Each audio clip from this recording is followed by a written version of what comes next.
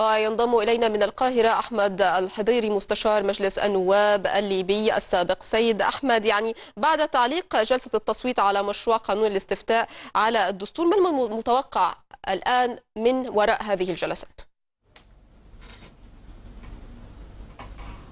متوقع مساء الخير متوقع من وراء الجلسة مداولات متعددة ما بين الأطراف والأطراف كما يعلم الجميع بأنها أطراف غير غير متجانسة في وجهات النظر.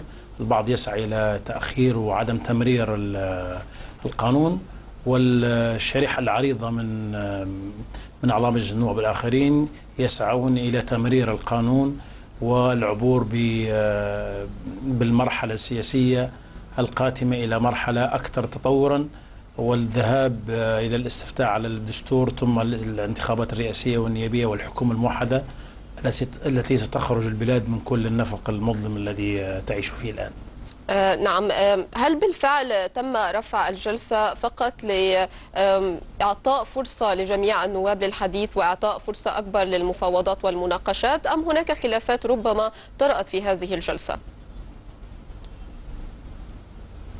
بالتأكيد يعني ما بالتأكيد بدون دبلوماسية هناك خلافات حادة ما بين الأطراف.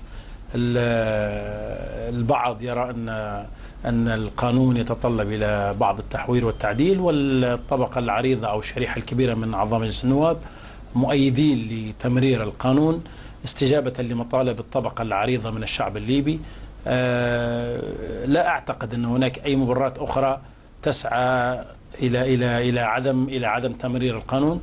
إلا بعض من النواب الذين يسعون إلى إلى تعطيل عدم التمرير وتأخير والمسألة مسألة أعتقد وقت فقط لحسم الأمر وتمرير القانون بشكل بشكل سريع.